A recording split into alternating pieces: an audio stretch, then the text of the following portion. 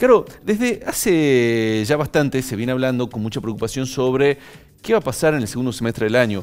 porque economistas, banqueros eh, y gente vinculada al ámbito de la economía anuncian complicaciones, ¿no? O sea, después de las corridas cambiarias que se produjeron eh, hace pocos meses, eh, las cosas no se terminaron de calmar y tampoco se van a transformar rápidamente, ¿no? Inclusive funcionarios muy encumbrados en el gobierno nacional, como el mismo Marcos Peña, anuncian meses con muchas complicaciones. El tema es cómo ¿Qué, hacer, ¿Qué hace cada uno? ¿Qué hace cada pequeño rista con los pesos que tiene guardados, los dólares que tiene guardados para... ¿Cómo, cómo se este, preparan ¿no? para este segundo semestre? Hay cifras de inflación que son preocupantes, ¿no? Y la gente tiene que pensar en el día a día, ¿no? Exactamente. Y si juntas algunos pesos, ¿cómo haces para cuidarlo y en, y en, y en una situación ideal poder hacerlos, hacerlos crecer, ¿no? Muy bien, bueno, estamos en comunicación con eh, Regina Martínez Rie, que ella es economista, bueno, una amiga de la casa ya, ¿no? Así, Así que le damos la bienvenida. ¿Cómo estás? Bienvenida. Buen día. Hola, ¿qué tal Carolina José? ¿Cómo estás? Muy bien, muchas gracias por, por atendernos. Y bueno, creo que hay mucha inquietud ¿no? En, en, entre las personas sobre cómo moverse en medio de esta economía eh, que genera preocupación eh, y, cuál debería ser la actitud que tiene que tomar uno eh, al momento de manejar las finanzas personales de aquí a lo que queda del año? Bien. Mira, siempre hablando de, finanzas personales, eh, creo que hay dos instancias, ¿no? la gente, digamos, que, que, tiene la suerte o la capacidad de, poder generar un ahorro, sí. muchas veces, porque dejemos de lado el tema de la pobreza y, y digamos, que ataca a gran parte de la población de nuestro país, pero para la gente que tiene la posibilidad de ahorrar, eh, lo primero es eh, la disciplina, digamos, en, en, el ahorro, ¿no? En este, ser prolijos y con una cuenta, como quien dice, de almacenero, hacer un resumen de lo que son principalmente los gastos, que son eh, los que uno tiene más claros, más fijos, porque no todo el mundo tiene ingresos fijos. Hay claro parte de la población que tiene ingresos, digamos, también variables. Eh, pero en el caso de, digamos, de detallar una planilla de, gastos, uno puede decir cuáles son los gastos superfluos, cuáles eliminarlos, cuáles reemplazarlos, digamos, porque hay muchos, digamos, sustitutos hoy con, con la tecnología de algunos gastos que pueden ser, este, digamos, eh, prescindibles. Entonces eso es lo primero. Pues hay mucha gente que tiene la costumbre y la disciplina del ahorro, pero lo deja, eh, los famosos que siempre hablamos, bajo el bajo colchón. claro. Ese bajo el colchón es una lástima porque hoy eh, pierde, digamos, poder adquisitivo. Sin ir más lejos, si, si vemos con la fuerte devaluación, digamos, del dólar, que en dos meses se fue del 20 al 28 aproximadamente, eso eh, luego se traslada a precios eh, ahí hay una fuerte, digamos, pérdida del poder adquisitivo para esa gente que deja los pesos este, bajo el colchón. Claro. Entonces ahí vamos a decir, bueno, una vez que uno ya tiene eh, esta disciplina del ahorro, que ya tiene un fondito armado, o no, o lo va poniendo, digamos, día a día, en qué, digamos, cómo, cómo ponerlo a trabajar. Claro. Y para ponerlo a trabajar, ahí tenés que primero decir, bueno, ¿cuál es tu objetivo de inversión? Eh, ¿Quién sos vos como inversor? Sos una persona joven o no, este, eh, eh, querés invertir para tu jubilación, querés invertir para comprar un auto, querés invertir para ir de vacaciones y ahí cambia hacia dónde vas. En términos generales hoy, sin ir, digamos, profundizando en los tipos de instrumentos y demás, hoy todas las carteras están siendo muy, muy conservadoras, con un fuerte, digamos, componente en moneda dura, porque la verdad que no se sabe todavía si el dólar alcanzó un techo o no.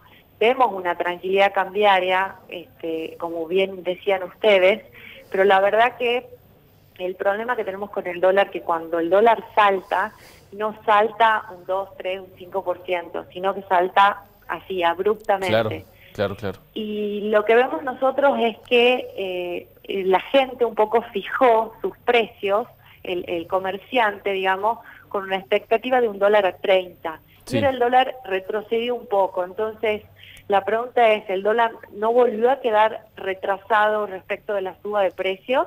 Claro. Eh, entonces, por eso es importante, digamos, cubrirse siempre en, moneda dura. Bien. No te referís a la moneda dura, te referís al dólar. Al dólar, exactamente. Eh, y hay muchas alternativas, digamos, que eh, para dolarizar tu inversión, no necesariamente ir y comprar el billete, sino hay productos que son atados, digamos, a la evolución del dólar. Por ejemplo. Este, por ejemplo, hay bonos que se llaman, eh, digamos, dólar link, que quiere decir vinculado a la evolución del dólar, son un poquito más largos, o vos con esos pesos podés comprar las famosas letes, que son primas hermanas, digamos, de las LEDAX, funcionan muy parecido. Eh, hay, digamos, alternativas cortas y conservadoras. Y para el inversor minorista, que mucho no entiende de esto, lo mejor es ir a un fondo común de inversión. los fondos comunes de inversión son vaquitas, digamos, donde cada uno pone este, sus ahorros y terceriza la gestión a, a, un, a un a un grupo de administrador que se dedica todo el día a mirar, a mirar los monitores y decir, a ver, qué sube, qué baja, qué compro, qué vendo, porque uno no tiene tiempo, de digamos, de hacer esto, porque está obviamente trabajando en su actividad principal. Regina, te hago una, una pregunta con respecto a esto que decías recién, ¿no? Los inversores minoristas o los pequeños ahorristas que muchos no entienden de esto. Eh, justamente como economista, eh, ¿tienen o reciben consultas respecto de este tipo? ¿La gente se preocupa por qué hacer con sus ahorros? ¿Entiende efectivamente de todos estos temas que estamos hablando o les cuesta un poco manejar sus finanzas a raíz de este desconocimiento que hay, no?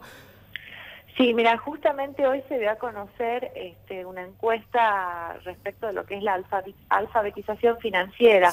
Digamos que en nuestro país estamos por debajo del promedio mundial. ¿Qué es la eh, alfabetización financiera? Tiene que ver con la educación financiera, digamos, con la formación en este tipo de cosas que estamos hablando. Eh, la gente desconoce de los instrumentos, también nosotros tenemos un, mercado de capitales muy chiquito, muy inmaduro, muy inestable, y yo creo que tiene que ver con eso. Entonces, eh, eh, está, digamos, correlacionado. Ahora, en los últimos años, con, con este nuevo, digamos, aventón y esta nueva orientación de la política hacia el mercado de capitales, eh, hubo un, cambio y nosotros notamos muchísima demanda, digamos, por, eh, por educación financiera. La gente le interesa, la gente quiere, Eh, quiere tener cursos, toma cursos virtuales, eh, pregunta mucho y sí, se informa mucho.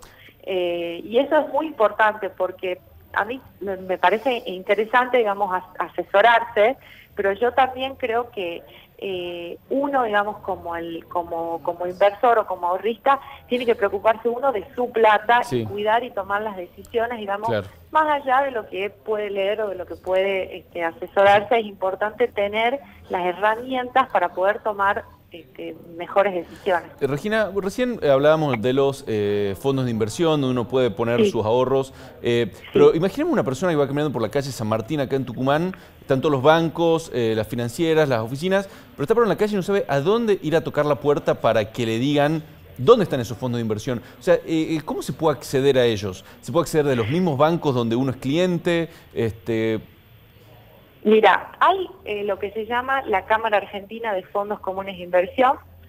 Eso es, eh, digamos, la, bueno, una cámara que aglutina a todas las gestoras de fondos, porque vos tenés gestoras que son independientes y gestoras que están asociadas, digamos, a los bancos. En general la gente cree que invierte en el banco X, en el fondo, digamos, del banco, pero son, eh, son empresas completamente distintas. Uno No, invierte en el banco, sino que es parte del mismo grupo inversor. Son todas sociedades que se llaman gerentes de fondos comunes de inversión. Y los fondos comunes, digamos, actúan eh, de forma muy interesante porque son eh, tres partes, digamos, las que tiene un fondo común.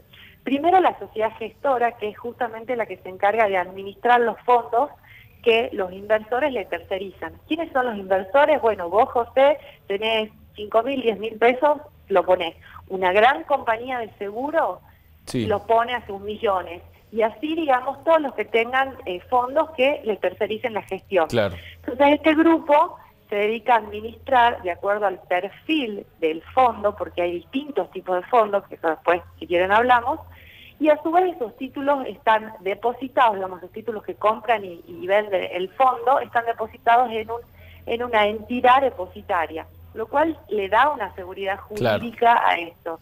Es decir, yo te lo administro, pero esto está depositado en una tercera parte y vos sos el dueño. Bien. así funcionaría. Y después tenés distintos tipos de fondos, porque hay fondos, esencialmente las famosas LEVAC, que son fondos muy conservadores, que en 24 horas vos tenés la plata, digamos, en caso que te quieras ir, vendés hoy y, y, mañana tenés la plata en tu cuenta bancaria. Hay fondos en el otro extremo, mucho más arriesgados, que son, por ejemplo, los fondos de acciones. Y en el medio tenés un abanico gigantesco, por eso la mejor forma es o ir al 0800 de la Comisión Nacional de Valores, que es la entidad de contralor, digamos, de, todo lo que es, tiene que ver con el mercado de capitales, o informarse en la Cámara Argentina de Fondos Comunes del tipo de fondos, de este, las distintas gestoras, incluso uno puede ver el patrimonio que tiene cada gestora eh, y la familia de fondos de cada gestora. Perfecto. Eh, muchísimas gracias por la información, muy claro, eh, para saber cómo moverse, ¿no? de ahora en más, por lo menos hasta fin de año. Gracias. Bueno, gracias, gracias. Gracias. buen día, ¿eh? Un saludo. Chao, chao, hasta luego. Bueno, hay una, aclaración, ¿no? Una aclaración, exactamente, para ver qué hacer con los ahorros, a dónde ir a poner la plata. Eh, obviamente, si uno quiere, quiere conservar lo que tiene y ver si lo puede multiplicar, aunque sea un poquito. Así es.